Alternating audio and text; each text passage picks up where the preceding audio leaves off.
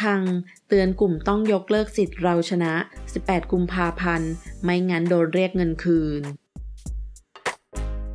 คัง เตือนกลุ่มข้าราชการ ลูกจ้างชั่วคราว และรัฐวิสาหกิจต้องกดยกเลิกสิทธิ์เราชนะ 18 กุมภาพันธ์ ไม่งั้นโดนเรียกเงินคืน แย้มเตรียมแผนเยียวยาภายหลัง วันที่ 5 กุมภาพันธ์ นางสาวกุลยาตันติเตมิตร รักษาการผู้อำนวยการสำนักงานเศรษฐกิจการคลัง เปิดเผยว่า หลังจากโครงการเราชนะ เปิดให้กลุ่มที่ได้สิทธิ์คนละครึ่ง และเราเที่ยวด้วยกัน ตรวจสอบสิทธิ์ผ่าน w w w เราชนะ .com วันนี้ 5 กุมภาพันธ์ 64 เป็นวันแรก เพื่อรับเงินเยียวยา 7,000 บาทนั้น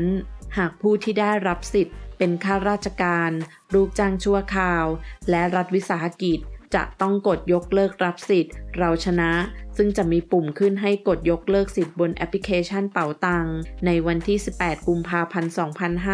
2564 ไม่เช่นนั้นจะถูกเรียกเงินคืนภายหลัง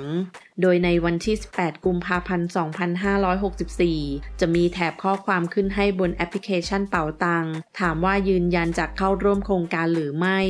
ผู้ที่เป็นลูกจ้างประจำ ลูกจ้างชั่วคราว และรัฐวิสาหกิจที่เข้าเกณฑ์ไม่ได้รับเงินในโครงการนี้ จะต้องกดไม่เข้าเข้าร่วมมาตรการเราชนะ เพราะถ้าหากระบบตรวจพบภายหลัง จะมีการเรียกเงินคืน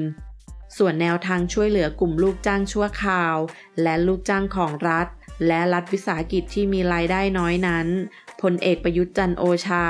นายกรัฐมนตรีมอบหมายให้กระทรวงการคลัง มาดูแลกลุ่มนี้เพิ่มเติมแล้ว ซึ่งขณะนี้กำลังอยู่ระหว่างหาแนวทางช่วยเหลืออยู่ ขอขอบคุณข้อมูลจากข่าวสด